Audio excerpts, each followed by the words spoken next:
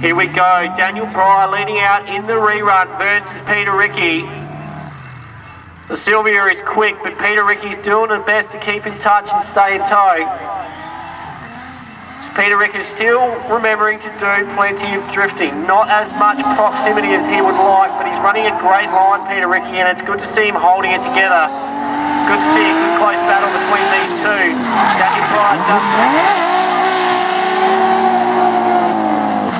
Right